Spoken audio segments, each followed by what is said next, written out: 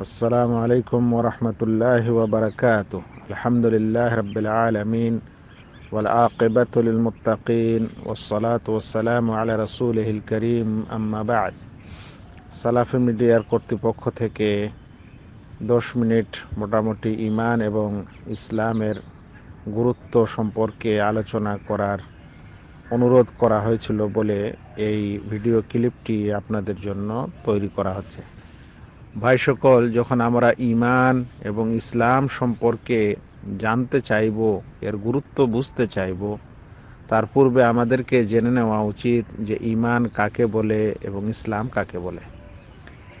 যদি এই শব্দ দুটি একসঙ্গে ব্যবহার হয়, যেমন ইমান ও ইসলাম আমি বলছি, একসঙ্গে যদি ব্যবহার হয়, তাহলে ইমান বলতে আন্তরিক বিশ্বাসগুলোকে বুঝায়। যে আন্তরিক বিশ্বাস ইসলামে রয়েছে। আর ইসলাম বলতে বাহ্যিক কাজগুলিকে বুঝায়।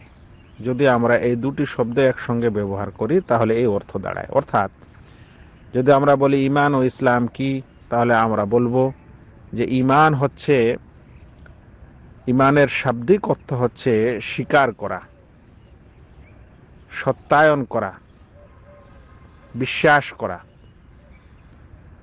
আর এর আবিধানিক অর্থ হচ্ছে আল্লাহ রাব্বুল আলমিনকে বিশ্বাস করা, তার নবী এবং রসুলগণকে বিশ্বাস করা, তার ফেরেস্তাদেরকে বিশ্বাস করা, তার আখেরাতের দিনের প্রতি বিশ্বাস স্থাপন করা, তার ফেরিস্তাদের প্রতি বিশ্বাস স্থাপন করা এবং ভাগ্যের ভালো মন্দের প্রতি বিশ্বাস করা এবং এই ছয়টির আনুষাঙ্গিক যা কিছু বিষয় আছে সেগুলোকে ইমান বলা হয়।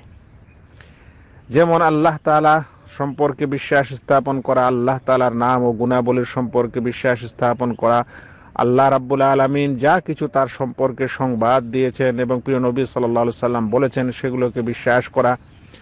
আমাদের বিশ্বাস করা তার ফেরেস্তাদের সম্পর্কে যে তার তার একটি এমন সৃষ্টি আছে, সৃষ্টি জগৎ আছে যেটা নূরের সৃষ্টি।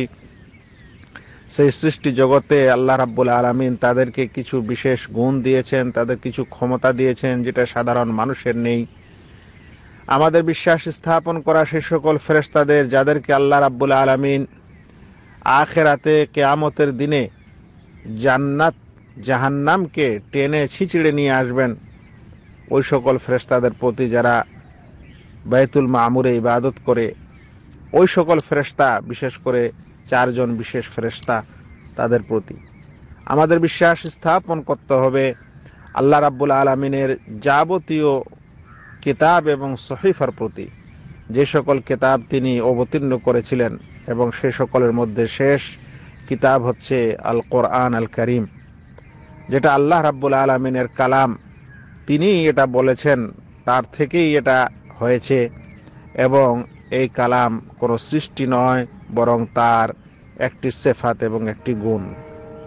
আমাদের বিশ্বাস স্থাপন করতে হবে তার রসুলদের প্রতি। যে সকল রসুল তিনি পৃথিবীতে প্রেরণ করেছেন, শুরু থেকে নিয়ে শেষ নবী মোহাম্মদ মুস্তফা সাল্লাহ আলহি ওসাল্লাম যাদের মধ্যে পঁচিশ জনের নাম তিনি কোরআনে উল্লেখ করেছেন আর অনেকের তিনি উল্লেখ করেননি। আমাদের বিশ্বাস স্থাপন করতে হবে আখেরাতের প্রতি। যে যেই দিন এবং যে দিবসে আমরা আছি, এটা কোনো না কোনো দিন শেষ হবে। সেই দিনে আবার পুনরায় আমাদেরকে আল্লাহ রাব্বুল আলমিন জীবিত করবেন।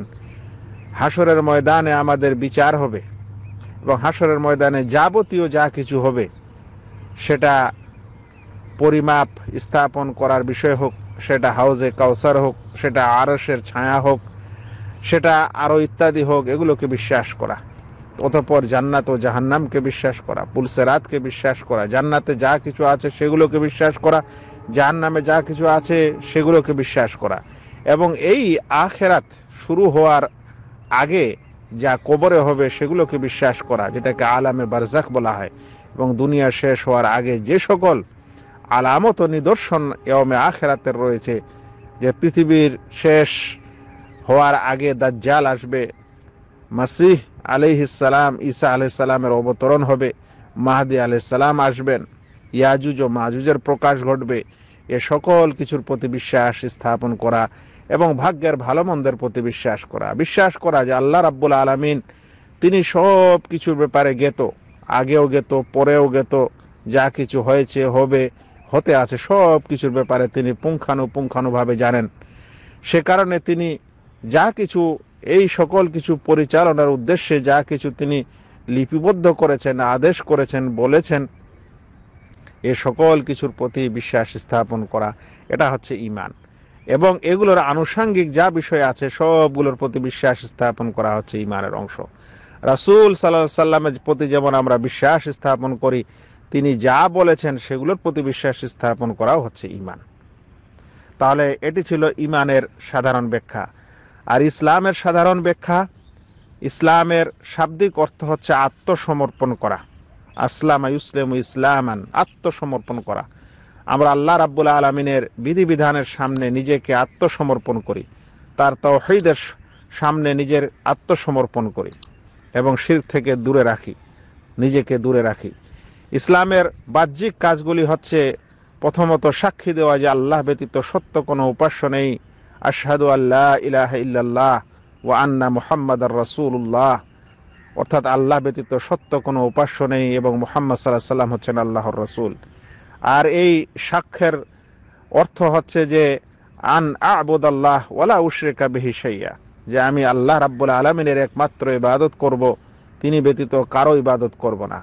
এই সাক্ষীর মাধ্যমে একজন মানুষ ইসলামের অঙ্গনে প্রবেশ করে ইমানের মূল তার মধ্যে চলে আসে। অতপর সে পাঁচ ওয়াক্তের সালাত কায়েম করবে। এই পাঁচ ওয়াক্তের সালাত ফজরে দুই রাকাত, জোহরে চার রাকাত, আসরে চার রাকাত, মগরিবে তিন রাকাত এবং এশার সময় চার রাকাত। এটা ফরজ।